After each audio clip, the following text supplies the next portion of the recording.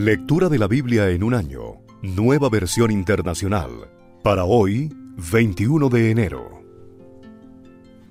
Éxodo capítulo 18.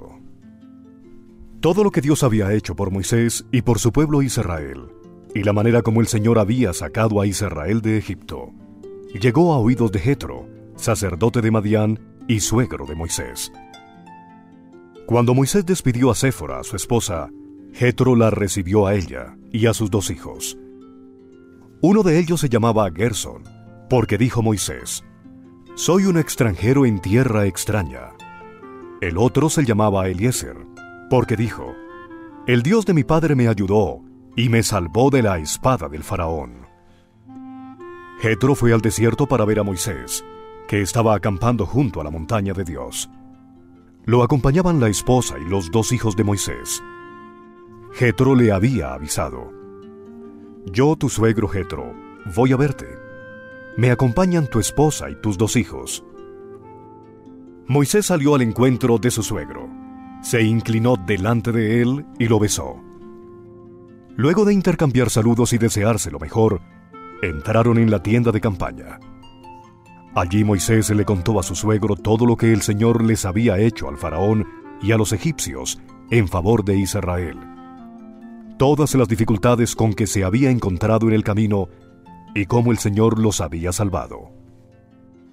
Jetro se alegró de saber que el Señor había tratado bien a Israel y lo había rescatado del poder de los egipcios, y exclamó: Alabado sea el Señor, que lo salvó a ustedes del poder de los egipcios.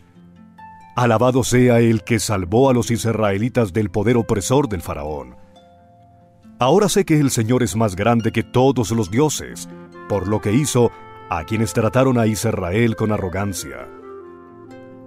Dicho esto, Jetro le presentó a Dios un holocausto y otros sacrificios, y a Aarón y todos los ancianos de Israel se sentaron a comer con el suegro de Moisés en presencia de Dios.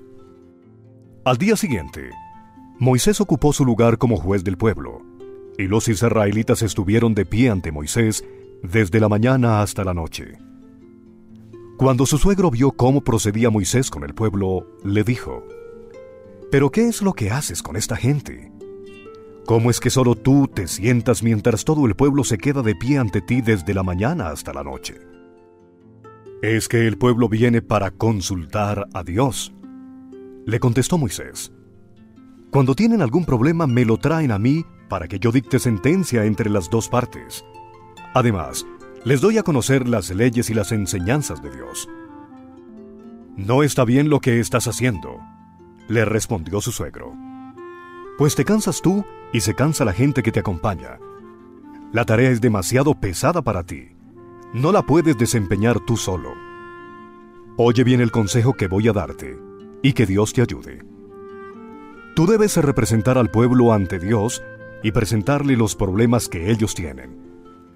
A ellos los debes instruir en las leyes y en las enseñanzas de Dios, y darles a conocer la conducta que deben llevar y las obligaciones que deben cumplir. Elige tú mismo entre el pueblo hombres capaces y temerosos de Dios, que amen la verdad y aborrezcan las ganancias mal habidas, y designa los jefes de mil, de cien, de cincuenta y de diez personas Serán ellos los que funjan como jueces de tiempo completo, atendiendo los casos sencillos y los casos difíciles te los traerán a ti. Eso te aligerará la carga, porque te ayudará a llevarla. Si pones esto en práctica, y Dios así te lo ordena, podrás aguantar. El pueblo, por su parte, se irá a casa satisfecho. Moisés atendió a la voz de su suegro y siguió sus sugerencias. Escogió entre todos los israelitas hombres capaces, y los puso al frente de los israelitas como jefes de mil, cien, cincuenta y diez personas. Estos jefes fungían como jueces de tiempo completo, atendiendo los casos sencillos, pero remitiendo a Moisés los casos difíciles. Más tarde Moisés despidió a su suegro, quien volvió entonces a su país. Éxodo capítulo 19 los israelitas llegaron al desierto de Sinaí a los tres meses de haber salido de Egipto. Después de partir de Refidim, se internaron en el desierto de Sinaí, y allí en el desierto acamparon, frente al monte, al cual subió Moisés para encontrarse con Dios. Y desde allí lo llamó el Señor y le dijo, Anúnciale esto al pueblo de Jacob. Declárale esto al pueblo de Israel. Ustedes son testigos de lo que hice con Egipto, y de que los he traído hacia mí como sobre alas de águila. Si ahora ustedes me son del todo obedientes y cumplen mi pacto, serán mi propiedad exclusiva entre todas las naciones. Aunque toda la tierra me pertenece, ustedes serán para mí un reino de sacerdotes y una nación santa. Comunícales todo esto a los israelitas. Moisés volvió y convocó a los ancianos del pueblo para exponerles todas estas palabras que el Señor le había ordenado comunicarles. Y todo el pueblo respondió a una sola voz. Cumpliremos con todo lo que el Señor nos ha ordenado.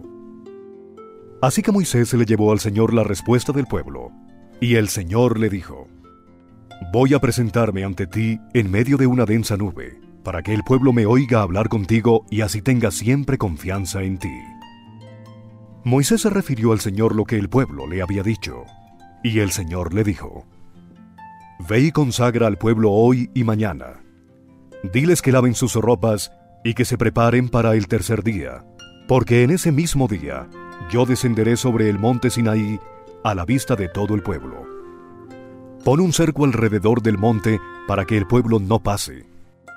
Diles que no suban al monte y que ni siquiera pongan un pie en él, pues cualquiera que lo toque será condenado a muerte. Sea hombre o animal, no quedará con vida. Quien se atreva a tocarlo, morirá a pedradas o a flechazos Solo podrán subir al monte cuando se oiga el toque largo de la trompeta. En cuanto Moisés bajó del monte, consagró al pueblo. Ellos, por su parte, lavaron sus ropas. Luego Moisés les dijo, Prepárense para el tercer día y absténganse de relaciones sexuales. En la madrugada del tercer día hubo truenos y relámpagos, y una densa nube se posó sobre el monte un toque muy fuerte de trompeta puso a temblar a todos los que estaban en el campamento. Entonces Moisés sacó del campamento al pueblo para que fuera a su encuentro con Dios, y ellos se detuvieron al pie del monte Sinaí. El monte estaba cubierto de humo, porque el Señor había descendido sobre él en medio de fuego. Era tanto el humo que salía del monte, que parecía un horno. Todo el monte se sacudía violentamente y el sonido de la trompeta era cada vez más fuerte. Entonces habló Moisés, y Dios le respondió en el trueno. El Señor descendió a la cumbre del monte Sinaí, y desde allí llamó a Moisés para que subiera. Cuando Moisés llegó a la cumbre, el Señor le dijo, Baja y advierte al pueblo que no intenten ir más allá del cerco para verme, no sea que muchos de ellos pierdan la vida. Hasta los sacerdotes que se acercan a mí deben consagrarse. De lo contrario, yo arremeteré contra ellos. Moisés le dijo al Señor, El pueblo no puede subir al monte Sinaí, pues tú mismo nos has advertido. Pon un cerco alrededor del monte y conságramelo. El Señor le respondió, Baja y dile a Aarón que suba contigo, pero ni los sacerdotes ni el pueblo deben intentar subir a donde estoy, pues de lo contrario, yo arremeteré contra ellos. Moisés bajó y repitió esto mismo al pueblo. Éxodo capítulo 20 Dios habló y dio a conocer todos estos mandamientos. Yo soy el Señor tu Dios. Yo te saqué de Egipto, del país donde eras esclavo. No tengas otros dioses además de mí. No te hagas ningún ídolo ni nada que guarde semejanza con lo que hay arriba en el cielo, ni con lo que hay abajo en la tierra, ni con lo que hay en las aguas debajo de la tierra. No te inclines delante de ellos ni los adores. Yo, el Señor tu Dios, soy un Dios celoso. Cuando los padres son malvados y me odian, yo castigo a sus hijos hasta la tercera y cuarta generación. Por el contrario, cuando me aman y cumplen mis mandamientos, les muestro mi amor por mil generaciones. No pronuncies el nombre del Señor tu Dios a la ligera. Yo, el Señor, no tendré por inocente a quien se atreva a pronunciar mi nombre a la ligera. Acuérdate del sábado para consagrarlo. Trabaja seis días y haz en ellos todo lo que tengas que hacer, pero el día séptimo será un día de reposo para honrar al Señor tu Dios. No hagas en ese día ningún trabajo, ni tampoco tu hijo, ni tu hija, ni tu esclavo, ni tu esclava, ni tus animales, ni tampoco los extranjeros que viven en tus ciudades. Acuérdate de que en seis días hizo el Señor los cielos y la tierra, el mar y todo lo que hay en ellos, y que descansó el séptimo día. Por eso el Señor bendijo y consagró el día de reposo. Honra a tu padre y a tu madre, para que disfrutes de una larga vida en la tierra que te da el Señor tu Dios. No mates, no cometas adulterio, no robes, no des falso testimonio en contra de tu prójimo.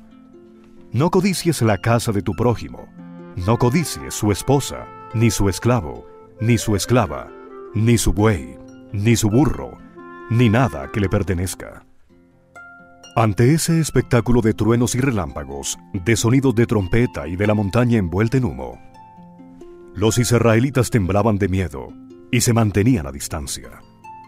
Así que le suplicaron a Moisés, Háblanos tú y te escucharemos. Si Dios nos habla seguramente moriremos. No tengan miedo, les respondió Moisés. Dios ha venido a ponerlos a prueba, para que sientan temor de Él y no pequen. Entonces Moisés se acercó a la densa oscuridad en la que estaba Dios, pero los israelitas se mantuvieron a distancia.